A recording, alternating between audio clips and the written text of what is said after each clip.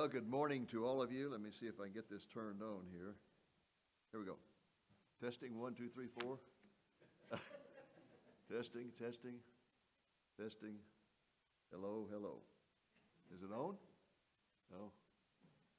Try it the other way. Hello? Testing, testing. There we go. There we go. Well, good morning to all of you. I greet you in the name of Jesus, our blessed hope. And I uh, want to thank uh, Corey and her team for the wonderful leadership and worship this weekend. It's been so great.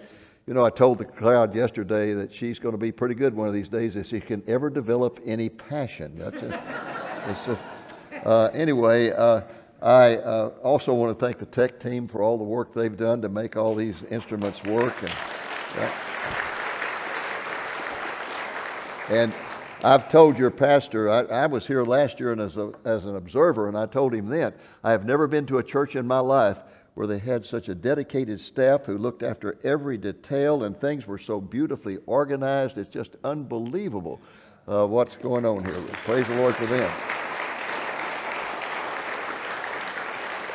And I also want to strongly endorse Olivier Melnick's ministry. I hope you will go home that you will uh, find uh, his ministry on the website and that you will make a donation. And I don't ask you to do something I haven't done. The moment I learned that he had decided to establish a ministry, I made a donation immediately. And I hope you will do that because uh, for over 40 years, almost 45 years ago, I did that. In 1980, I had been a university professor for uh, 20 years and I stepped out in faith. And I mean, it was a scary step. And uh, the Lord encouraged me in many ways, but uh, I had to learn to walk by faith, and that was a difficult uh, task to learn how to do. But I learned how to trust in the Lord and walk by faith, and I know that uh, when you take that step, it is a momentous one. And I hope you will help him by encouraging him, writing him, write him a note, encourage him, and send him a donation. Please do that. Well, I uh, established Lamb and Lion Ministry in 1980. I headed up that ministry for 41 years, and in June of 2021, uh, I retired after 41 years. And uh, my successor, Tim Moore, took over, and I moved my office to my home. And I have been doing one thing ever since. I've been concentrating on writing books. And I've written five so far. Uh, four have been published. The fifth one is yet to be published. It'll be called How to Die with a Smile on Your Face. And I'm, anxious, I'm hoping that's going to be out next month. Uh, but that, that's something that a Christian can do because they know the moment that they take that last breath, they're going to be in the presence of Almighty God. Today, I have a very heavy topic to discuss with you, and that's America's destiny. I want to show you uh, some church signs that relate to the topic, and these are very serious church signs. For example, moral confusion, sexual confusion, gender confusion, author of confusion, Satan. How about this one? This one is very insightful. Gradually, the unthinkable becomes tolerable, then acceptable, then legal, then praised. And that's exactly where we are in America today. We are praising the unthinkable. So let's go on here. This is a church that's decided they're not going to get in bed with the world. Abortion is murder. Sodomy is abominable. God is the same. America is in trouble. Or this one if you want God to bless America, stop legalizing sin. Yeah. And finally, the one in Bible prophecy, the newest one that I just got, and that is this one Normal is not coming back, Jesus is. Hallelujah.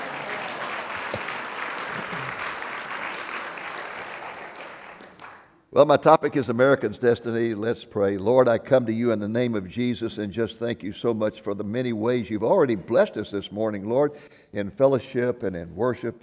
Uh, we just thank you. And we thank you for this church and for the fact that it is a church that's not willing to get in, to, in bed with the world. We thank you for Andy.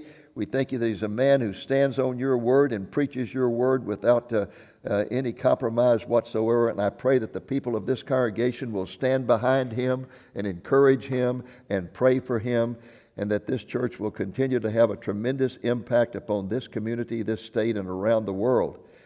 Be with us now as we look into this difficult topic. I pray that you will guide my thoughts, my words. I pray that uh, you'll guide even the inflection of my voice. Use me as an empty vessel for you to work through to touch hearts for eternity. In Jesus' name, amen.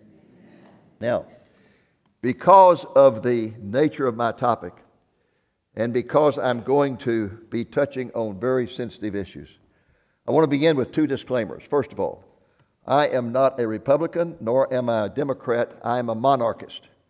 And I say that because I have devoted my entire life to do everything I can to prepare the way for the coming of the King of Kings and the Lord of Lords, Jesus Christ. He is going to reign with a rod of iron from Mount Zion in Jerusalem, and he's going to bring peace, righteousness, and justice to this very troubled earth. Here's the way social commentator Todd Starnes put it recently. He said, We don't need more Americans bowing down to the Democrat donkey or the Republican elephant. We need more Americans bowing down to the Lion of Judah. Amen.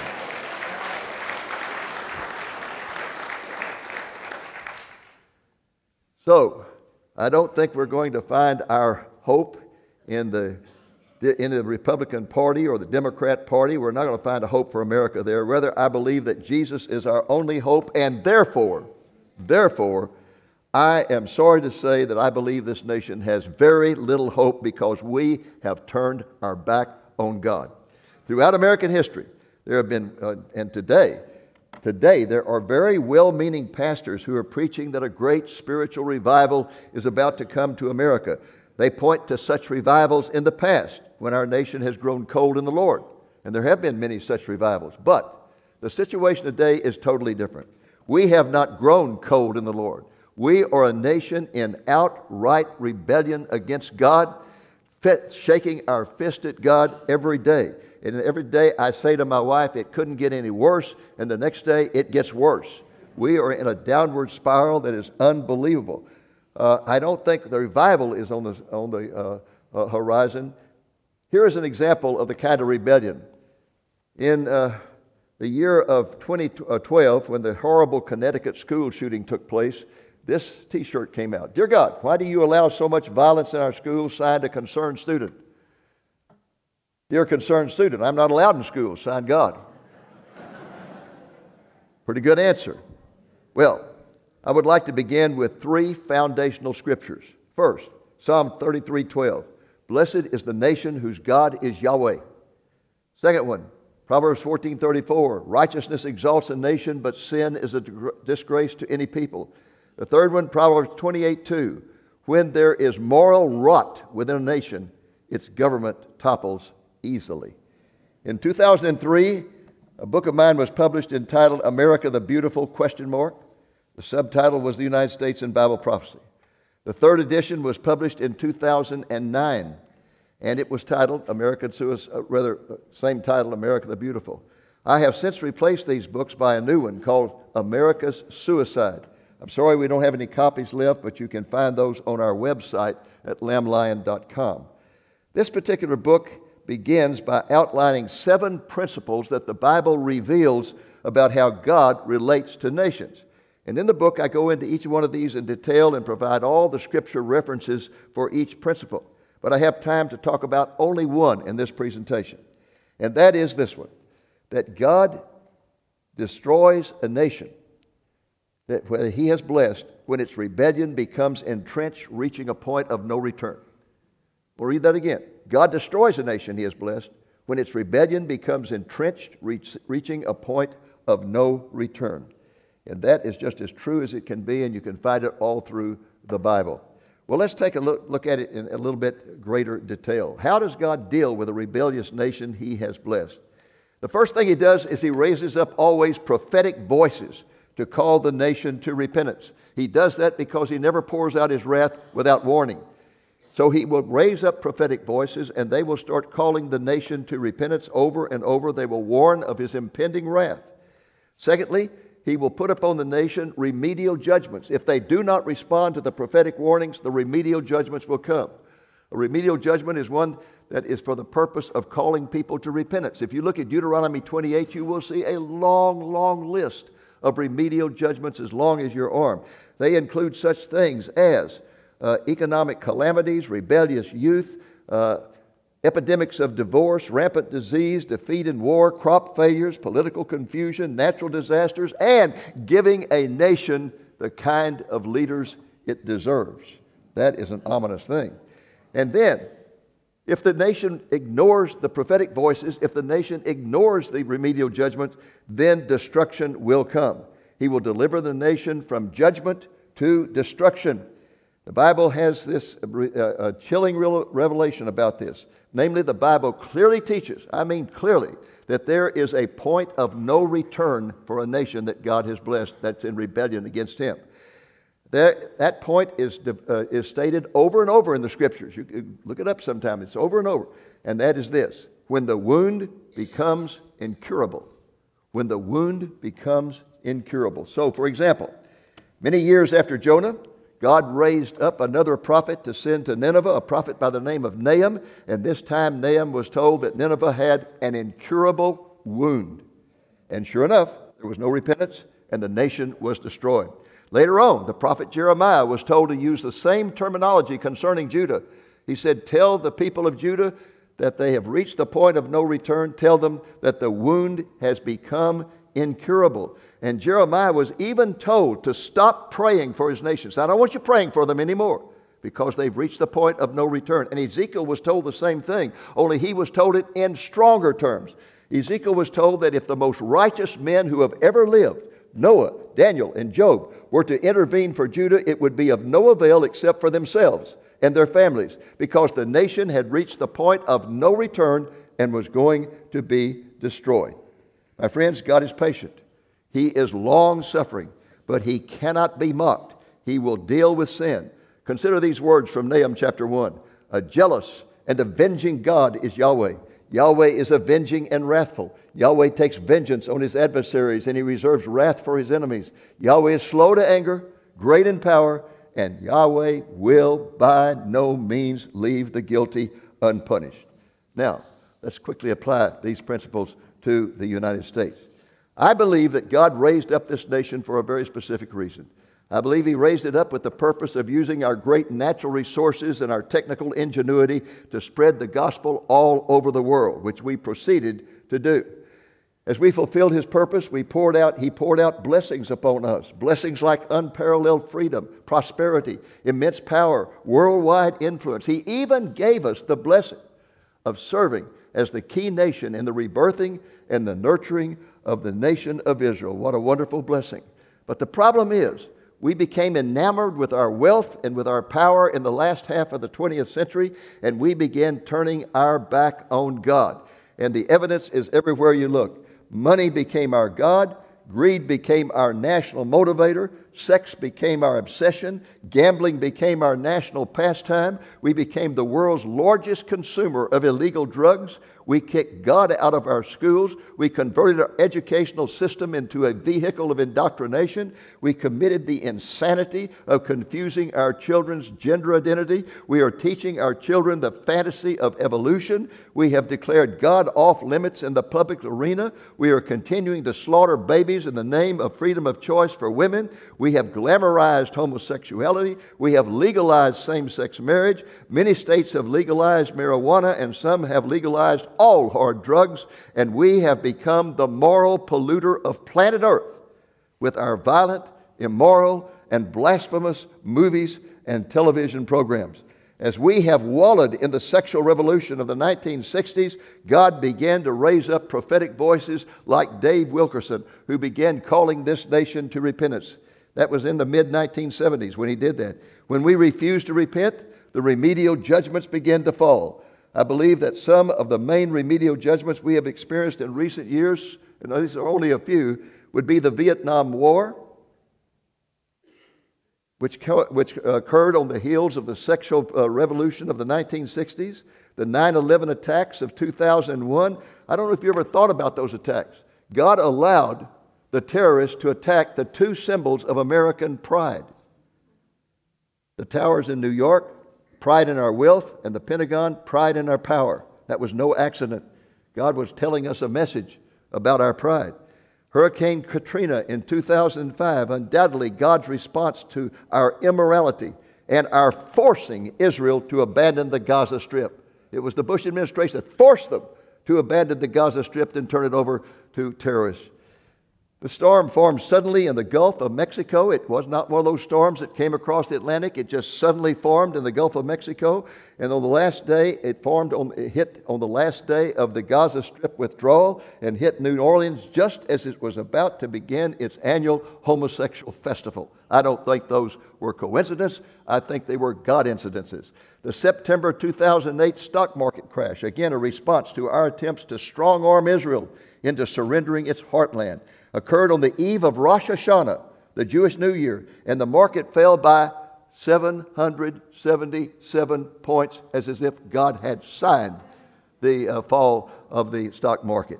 And then the type of leaders we deserve. It is no accident that President Obama was the most pro abortion, pro homosexual, anti capitalist, anti Israel leader in the entire history of our nation to that point, nor is it any accident that Biden was elected and was picked up, has picked up where Obama left off. A final remedial judgment that I would mention is another one which, like the election of depraved leaders, is one that we have brought upon ourselves. It is the out of control, greedy, immoral spending. What our nation has done is equivalent to my purchasing a $300 million mansion on a 200 year mortgage. I may enjoy it now, but I'm going to leave it for my grandchildren, great grandchildren, and great great grandchildren to pay for. Our nation is on the biggest spending spree in the history of mankind and is leading to the greatest economic collapse in history. Look at this chart. Or rather, I'll get to it here in a moment. Here we go. Look at this chart. The U.S. national debt. The chart shows the growth of the U.S. national debt from 1940 to 2020. 1940 to 2020. In 1940, it was 43 billion. By 2020, it had reached 23 trillion. Currently, and I mean currently, this morning, I looked it up. Currently, the debt has accelerated to $34.2 trillion, which is more than our nation's gross national pro- domestic product. The total debt right now amounts to 101, almost $102,000 per person. I don't know about you, but I couldn't do that. And it, it also amounts to $265,000 per taxpayer. We are in a point where our economy is a house of cards that literally could collapse any moment. And God has sent warning after warning after warning, and we have simply ignored them. So, where is the United States in Bible prophecy? Andy said a few minutes ago he didn't think we are uh, specifically there, and he is exactly right. We are not. But I believe we're there in a way. I think we're there in symbolic type, in prophetic type. I think that our type is the nation of Judah. I say that because of the parallels between Judah and the United States. The nation of Judah had great leaders, just as we have had great leaders. They had freedom, they had prosperity, they had spiritual blessings. The Shekinah glory of God dwelt in their temple in Jerusalem. And we have had great spiritual blessings. I wish I could stop there, but I can't. I have to continue with the parallels, and I'm not happy. Because what happened is because of all of these incredible blessings that God placed upon them, they suddenly became very prideful and began to think, well, we earned these things. We did this because we were so, uh, you know, wi- full of wisdom and so forth, instead of God supplying it. And so they became consumed in pride, and pride led to rebellion against God. You know the history of Judah, and you know how they ended up in rebellion against God. In Isaiah chapter 5, the prophet tells us about how God asked him to compile a list of the sins of Judah. And he compiled a list. Uh, God knew the sins of Judah. He wanted Isaiah to know. So Isaiah went out, he took a poll, he got, came back, and he said, Lord, here are the sins of our nation. He said they are injustice, greed, pleasure seeking, blasphemy, moral perversion, intellectual pride, intemperance, and political corruption. Sounds like somebody just made a poll of the sins of America. The same sins here in the United States of America. 75 years later, God called another prophet in Judah by the name of Jeremiah. And God asked him to do the same thing, to go out and do a poll of the sins of Judah. He came back with the same list, except he added one item, one item to the list. And that item was religious corruption. He talked about how prophets prophesy whatever people want them to prophesy if they'll give them a bribe. He talked about political corruption. And he concluded his report with three general observations. The three were these Their faces are harder than a rock. They have a stubborn and rebellious heart, hearts full of rebellion, and they don't know how to blush. We've reached that point in America today. We don't to blush. You know, my previous wife that I was married to for 60 years, she, she was a person who knew how to blush. She even blushed at television ads. When they would come, she said, I just can't even watch that. I just, I can't believe they've got that on there, much less some of the programs. But the ads themselves caused her to blush. We watched them without any blushing at all. When Jeremiah went out and did what the Lord told him to do, when Jeremiah re- uh, revealed the sins of the nation, when he called the nation to repentance, they did not repent. You know what they did? They began to chant, the temple, the temple, the temple. What that mean? God's not going to allow anybody to touch Jerusalem or touch our temple. His Shekinah glory is in the temple. You're crazy, you prophet. He, he would never allow anybody to do that. Well, my friends, God allowed it. Likewise, today, God has sent us many different prophetic voices and remedial judgments, and Americans, including many professing Christians, have responded to God's prophetic voices and his remedial judgments with disbelief that he would ever destroy our nation. I'm convinced that most Christians think God is sitting on the throne draped in an American flag. Well, he's not, folks. He's not. I am convinced that before very long, some tragic words applied to the, in the Bible to Judah will equally apply to our nation. You'll find these words in Second Chronicles chapter 36, and I'm going to read you two verses that are two of the saddest verses in the Bible. You can almost hear God weeping as I read them to you. It's after Judah was destroyed, and the prophet wrote this.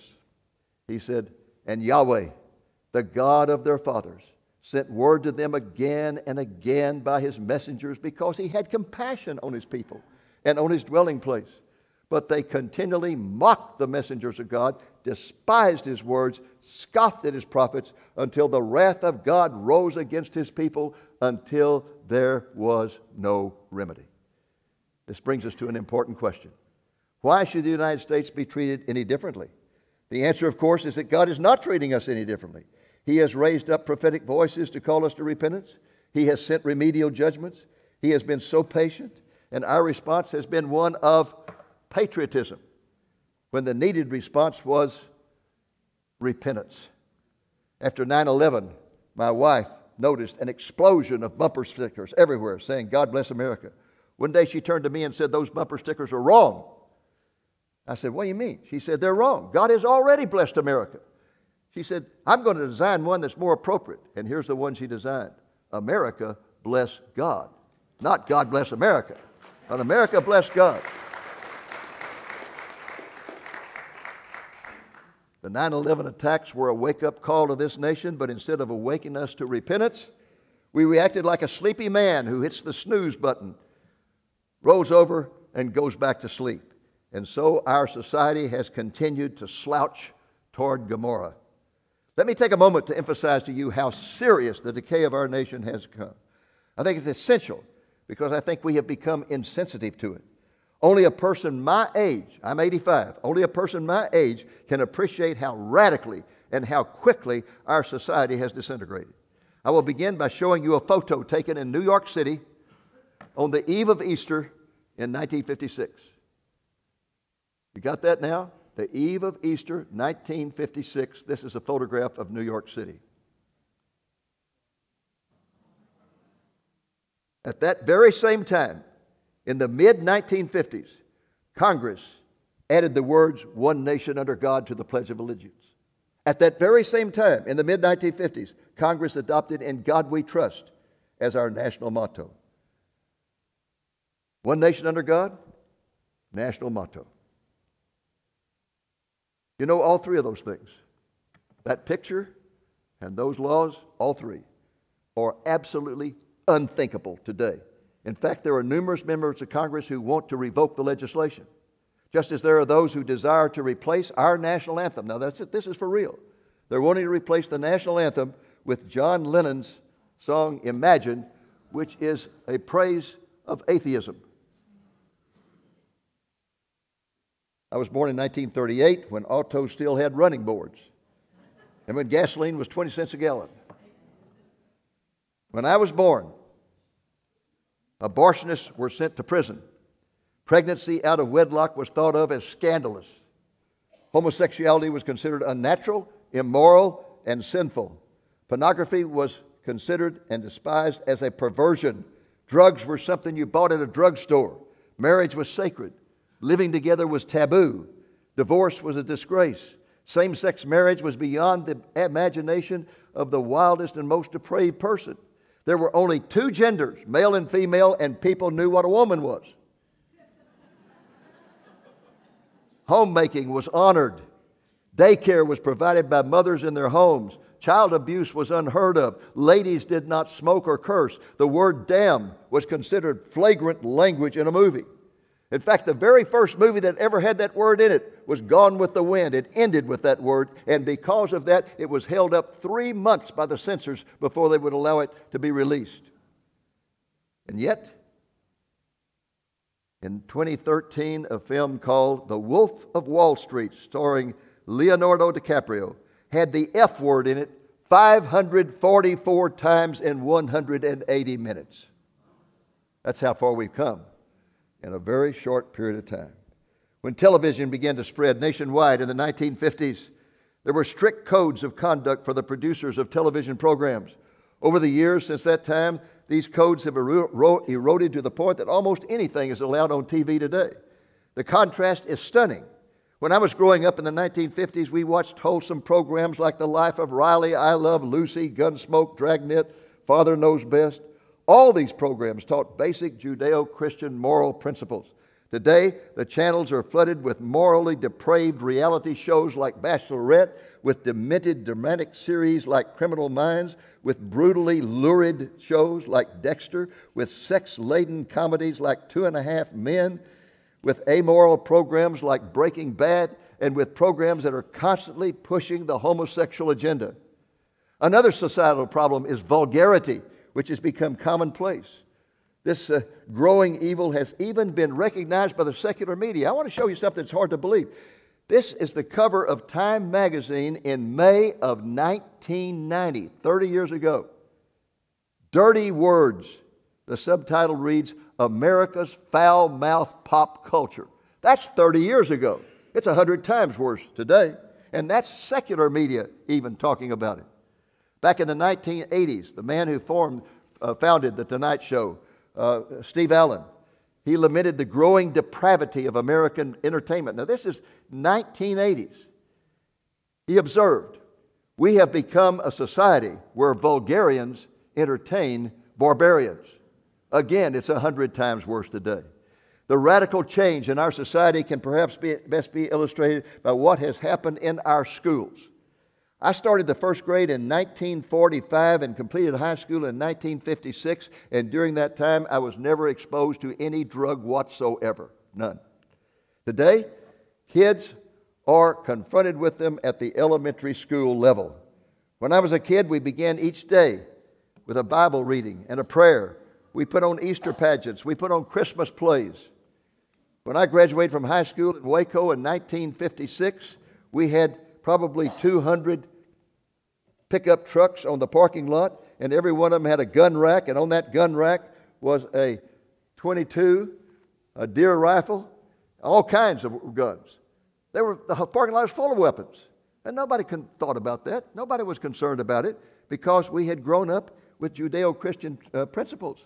Today, we have moral pygmies holding guns of all kinds in our society, willing to shoot each other over a pair of tennis shoes. The most dramatic way I can think of to illustrate how rapid the deterioration of our society has become in America is to consider a poll, a survey, concerning public school discipline problems. The survey was conducted in Fullerton, California, by the Fullerton, California Police Department in conjunction with the California Department of Education, statewide education poll in California. It was done in mid 1940s, 1945, right at the end of World War II. And the same poll was conducted 40 years later in 1984. When I show you this, you will want to weep. 1945, number one problem in school was talking, and I was one of those problems.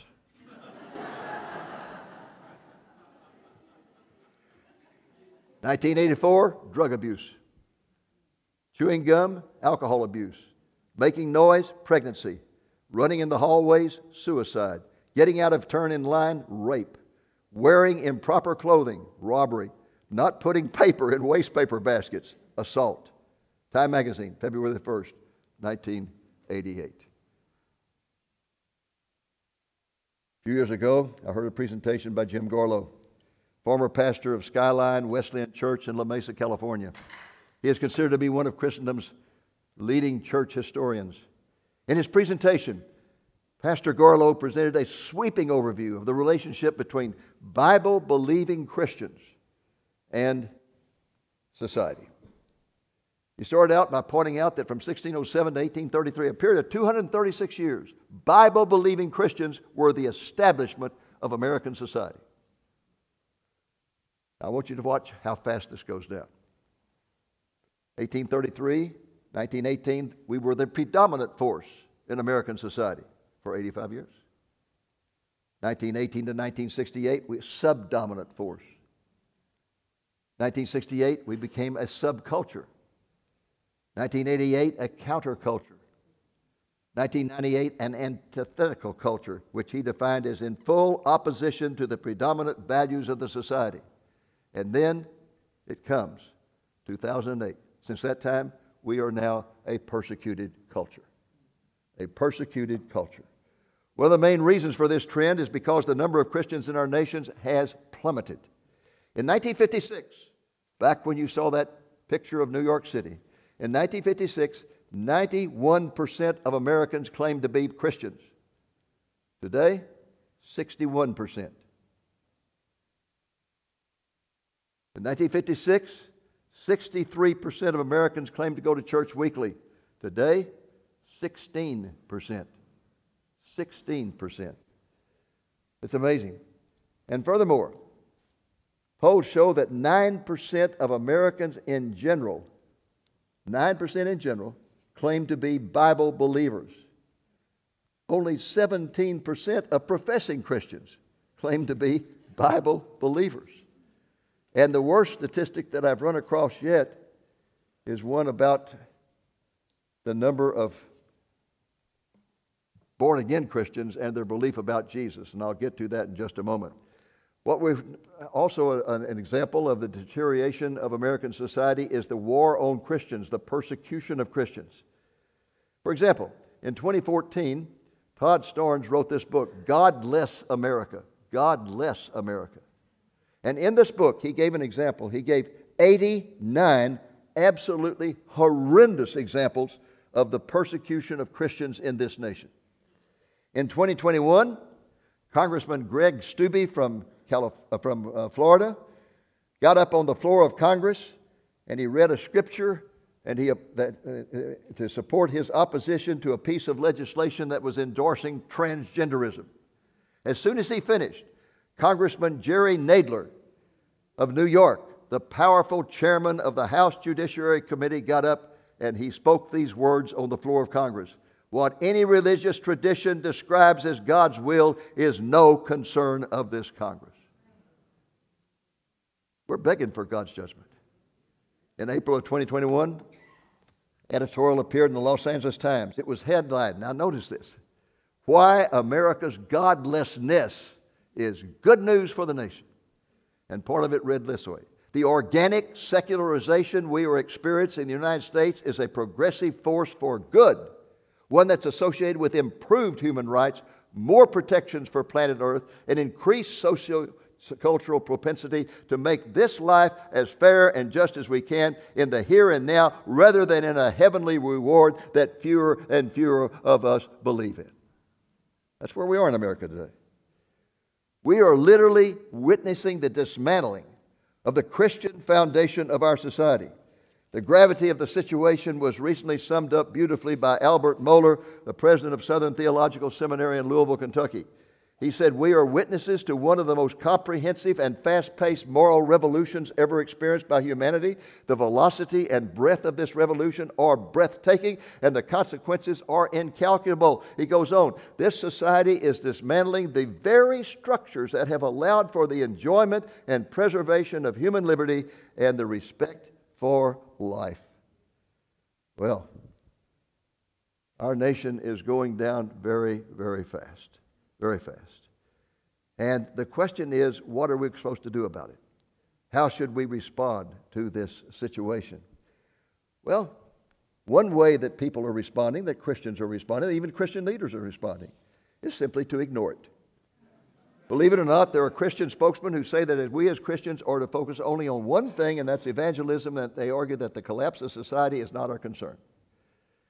I believe this is a very unbiblical attitude. We're called by Jesus to be salt and light of the world, and the only way we can fulfill that task is to take a stand for righteousness as well as preach the gospel. Preaching the gospel should be number one, but we certainly should take a stand for righteousness. Other professing Christians have decided to embrace the decline of our society by getting in bed with it, by endorsing immorality in the name of tolerance and Christian love. After all, they say, Who are we to judge? And shouldn't we make Christianity as user friendly as possible, free of all condemnation? Let me give you an example of this fuzzy headed type of thinking.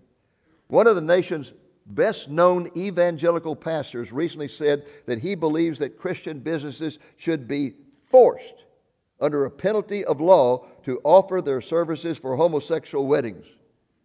He explained his view by saying, Serving people we don't see eye to eye with is the essence of Christianity. Well, let me tell you something, folks. That is not the essence of Christianity. I mean, I could preach a whole sermon just on that one statement. I mean, it's, it's ridiculous. But let me tell you just two we, reasons it's ridiculous. We have a Constitution, and that Constitution says that we have the free, um, uh, free exercise of religion. The free exercise of religion. Furthermore, let me tell you something else. Helping people commit sin is not the essence of Christianity. Another one of the best known pastors in America just this last week got up in the pulpit and said, I've been getting a question about whether Christians should go to same sex weddings. He said, Of course you should go, and not only should you go, but you should take a gift. To celebrate something that is a violation of God's word, something that is a stench in God's nostrils, we're to celebrate it? Sorry. We can be loving, we don't have to be you know, hitting them on the head with a Bible, but at the same time, we don't celebrate sin. There's a third way that people are responding to the deterioration of our society, and that is by taking a stand for righteousness. And a sterling example of this is probably the most hated Christian leader in America today, and that's Franklin Graham. Graham spits bullets. People keep saying, Why can't you be like your father? Well, his father was an evangelist. He's not an evangelist. He's a prophet. He's a prophet of God. And he says it the way it is. Look what he has to say here. True followers of Jesus Christ, whose salvation is based entirely upon God's Word, cannot endorse same sex marriage, regardless of what our President, the Congress, the Supreme Court, the media, or the latest Gallup poll says about the matter.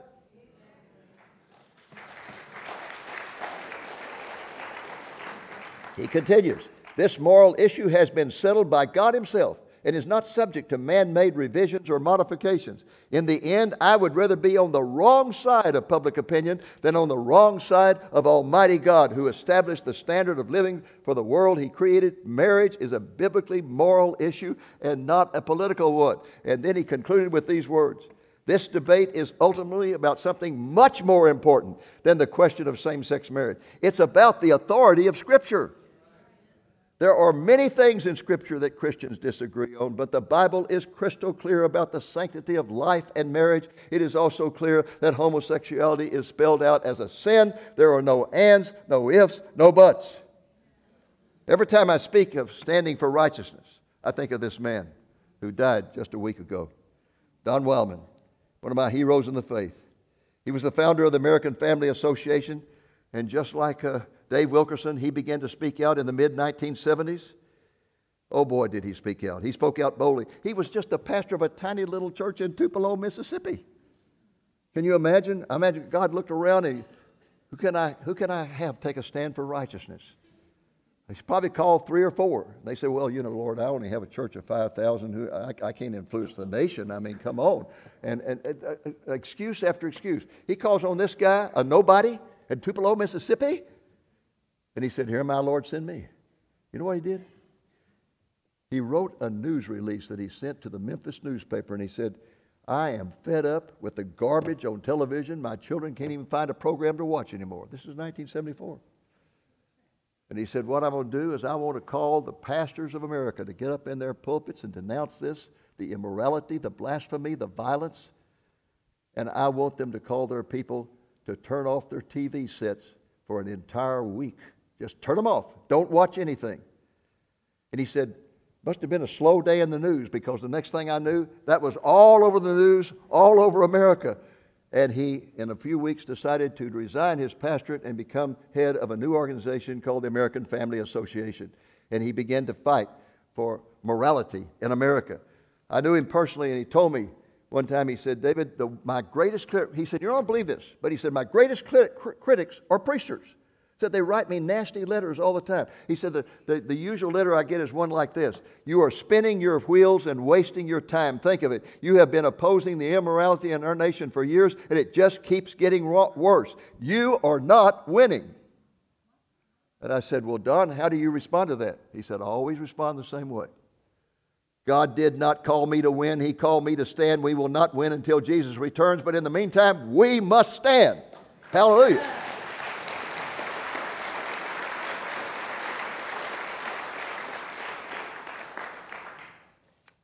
Well, again, my friends, Matthew 5, Jesus said, We are to be the salt of the earth and the light of the world. Meanwhile, meanwhile, we continue to live as if we were totally unaware of impending destruction. We continue to wallow in sinful rebellion against God. And He continues in His love and His mercy and His patience to warn us of impending destruction, continuing to call us to repentance through prophetic voices. Since the death of David Wilkerson in 2011, God has raised up prophetic voices whom He has mightily anointed to let it. And, and I want to mention three in particular. I wrote a whole book about this God's prophetic voices to America, in which I, I think I had 10 in there. But let me just mention three.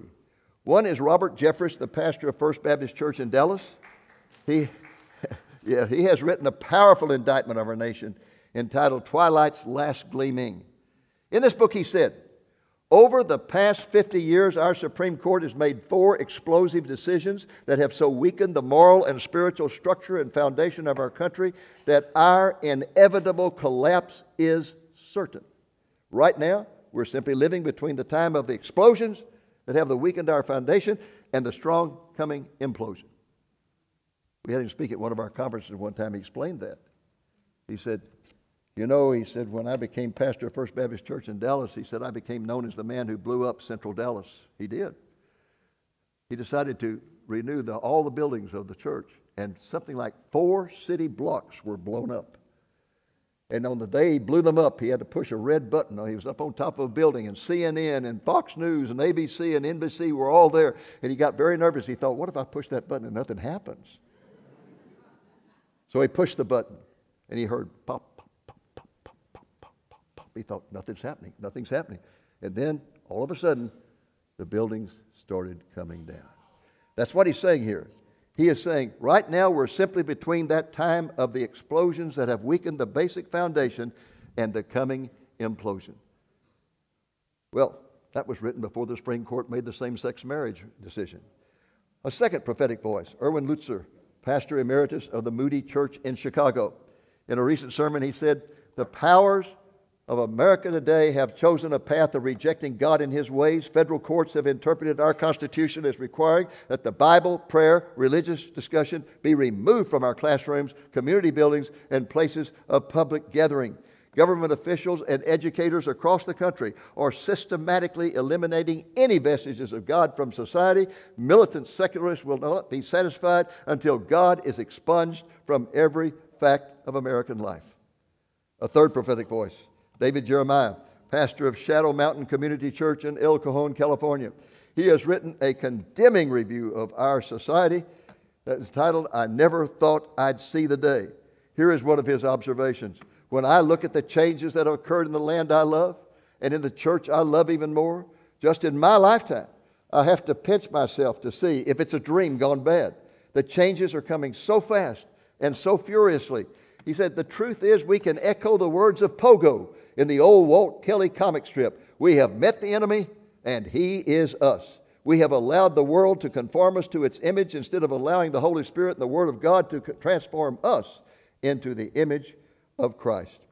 It is true that God, in His grace and mercy, gave us a temporary respite, a window of grace, through the miraculous election of Donald Trump in 2016. And incidentally, I believe that the crucial factor in that election was Franklin Graham, who went to every state capital in the United States and had a prayer crusade. Every state capital. And at each stop, every stop, he began with these same words I have no hope in the Democratic Party, and I have no hope in the Republican Party, zero hope. God, our only hope is God. And then he prayed for this nation. Trump ran for president on a campaign slogan that said, Make America Great Again. My friends, I have news for you. There is no politician on earth who can make our nation great again as long as we continue in our outright rebellion against God and His Word. What we really need is a determination to make America godly again.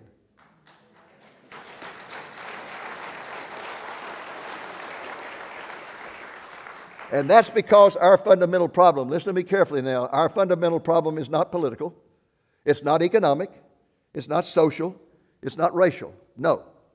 Our problems in all of those areas are simply manifestations of the fundamental problem. And that problem is systemic godlessness. Systemic godliness. Our nation, like Judah, has gone too far in its rejection of God, and I personally believe our wound has become incurable. We have become a pagan, secularized nation, as reflected in a series of brutal political facts. For example, after eight years of the most ungodly administration in American history up to that time, President Obama left office in 2016 with a 60% approval rating. In 2016, our nation's future, the millennials, 18 to 29 years old, supported an out and out socialist, Bernie Sanders. And when he failed to get the nomination, they voted overwhelmingly for Clinton and in 2020, they supported the same socialist again. Third, Obama's designated heir, Hillary Clinton, received 3 million more votes than Trump. And in the presidential election of 2020, Biden received 7 million more votes than Trump. That's the paganization of American society. We are in the minority, folks, I'm telling you. In a recent Barna poll, oh, I'm sorry, let me, let me show you how somber the religious facts are. 77% of Americans believe divorce is acceptable. This is a recent poll by the Barna. 77% of Americans believe divorce is acceptable. 71% believe sexual intercourse between unmarried adults is acceptable. 69% believe having a baby out of marriage is acceptable. 65% believe same sex marriage is okay. 58% believe viewing pornography is acceptable. And then to the startling statistic I mentioned a few moments ago, this makes me weep. 56% of people who identify themselves as born again Christians say Jesus sinned. That is the famine of the word in our nation. That is the result of preachers getting up every Sunday morning and preaching pop psychology instead of preaching the Word of God. It's no wonder our nation is in the condition that it's in. My friends, we need to face up to the fact that we have lost the culture war. Humanism has triumphed. We are now a nation begging, begging, begging God for destruction. I think Romans chapter 1 makes it clear that the fate of our nation is sealed. Romans 1 tells us that God responds to this kind of rebellion against how he responds to this kind of rebellion. This is very interesting. It says, God steps back, he lowers the hedge of protection, and he allows evil to multiply. It's kind of like he says, Well, you want to live like a pig? Okay, I'll step back, I'll lower the hedge of protection, and I'll let evil multiply. And what happens then? A sexual revolution. Read it, Romans chapter 1, a sexual revolution. This occurred in the United States in the 1960s. Then it says, if the nation does not repent, God takes a second step back, lowers the hedge of protection, and what happens? A plague of homosexuality, which occurred in this nation in the 1980s and 90s. Then it says that if the nation does not repent, God takes a third step back, lowers the hedge of protection one last time, and at that point, he turns the nation over to depraved minds. And that's where we are, folks. Again, every day I look at that news, I say, we can't get any worse. The next morning, it's worse. Because depraved minds are in charge of our nation today. And evidence that can be found in how this nation rejoiced over the same sex decision of the United States Supreme Court. I think God wept as we rejoiced. I have no doubt he must have been re- rejoicing, I mean, uh, weeping as we rejoiced. And then this photograph, a sickening photograph Obama had the White House lit up in the colors of the sexual perversion movement on June the 26th, 2015. In my opinion, you can put the, on the tombstone of America, July the 4th, 1776 to June the 26th, 2015. We sealed the fate of America when the Supreme Court made that decision, and we rejoiced over it. So the question is Is there any hope for America when you consider all this? Is there any hope? Well, first of all, let me point out that Europe is going the same way. I went to Europe in the year 2000. 24 years ago, I went and I spent a month preaching in Europe. I started in London and preached in all uh, churches around London. Then I went to the coast and preached at churches all along the uh, coastal channel. I went to Welsh, Wales and heard the most beautiful singing I've ever heard in my life. And then I went up to Scotland and preached at several churches there. I had no idea what the Scottish were saying, none whatsoever. I just. They seemed to understand me, but I couldn't understand a word they said. And I went, I turned to my London host and I said, What are they saying? He said, I haven't got any idea what they're saying. We then went over to Northern Ireland and we ended our tour there in Northern Ireland, which is part of, of, of England. And at that time, only 7% of the British were attending church. 7% in year 2000. 7% attending church. It was a nation that was the center of Christianity in 1850, sending missionaries all over the world. Half the songs in our songbook written by Anglican priests. Today it's just as pagan as it possibly be. In fact, they have a Hindu as their prime minister now. We're following the same path, right down the same path. When did it happen? It happened when the German School of Higher Criticism jumped across into England and hit the seminaries like an atomic bomb. And before long, the seminaries were teaching this is not the Word of God. This is man's search for God, and therefore it's full of myth, legend, and superstition, and people stop going to church. Why go to church just to hear psychological sermons? We're on the same path. Christianity is dead right now. There's, of course, pockets of revival and pockets of churches that are on fire like this one, but overall, it's dead. And all around the world, we find Christians being persecuted horribly. Horribly. Our world is a ticking time bomb. And one of the tragedies is that the average person is just going about his normal business as if nothing is wrong, totally oblivious to the fact that the wrath of God is about to be poured out. Is there any hope for our nation? My question is, how could there be? As Alexander Solzhenitsyn said, and he's one of the prophets God sent to America, he came to America, lived in America, and boy, did he speak out about America. In 1983, he said, America has forgotten God. And that sums it all up. That's the problem with this nation. We have forgotten God, and we have forgotten His Word. But nevertheless, we should not despair for several reasons. First, what we are experiencing is a fulfillment of end time Bible prophecy, folks.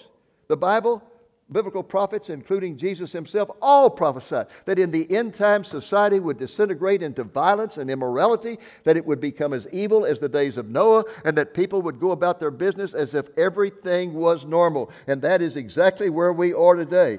And thus we are witnesses to the very signs that are heralding the soon return of Jesus. That's why the great pastor Adrian Rogers once said, The world is growing gloriously dark because it's an indication Jesus is about to return. It's the reason that Jan Markell says over and over the world is not falling to pieces, rather, the pieces are all falling into place. The second reason we should not despair is because there is individual hope. For those of us who are believers, God has promised that He will never forsake us. He says, Be strong and courageous. Do not be afraid or tremble, for Yahweh your God is the one who goes before you. He will not fail you or forsake you. A third reason we should not despair is because of what God is doing in heaven right this moment. The Bible says in Psalm 2, I love this, that all the political leaders of the world are conspiring against him. And what is he doing? He's sitting in the heavens laughing. Laughing. Not because he doesn't care, but because he has it all under control, because he has the wisdom and the power to orchestrate all the evil of mankind to the triumph of Jesus Christ. And he's in the process of doing that. And also, we should not despair because we have the glorious hope of the rapture of the church, which could occur any moment. Any moment. Oh, what a day that will be. What a day that will be.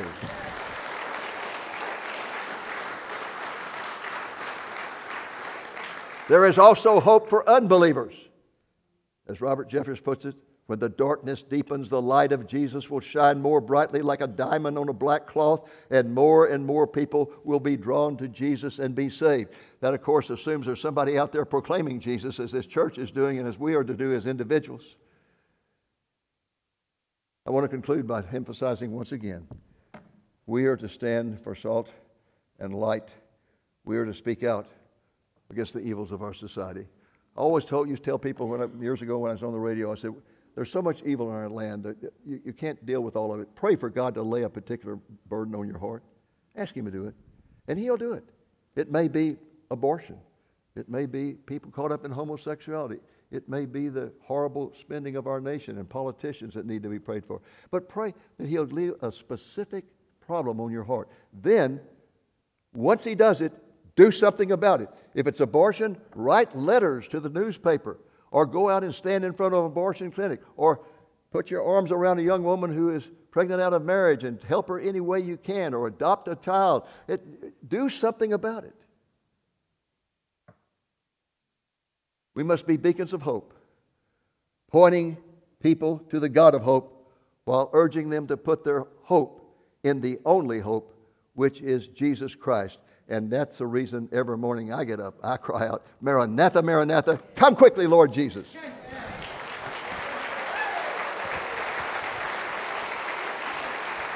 Thank you. Thank you.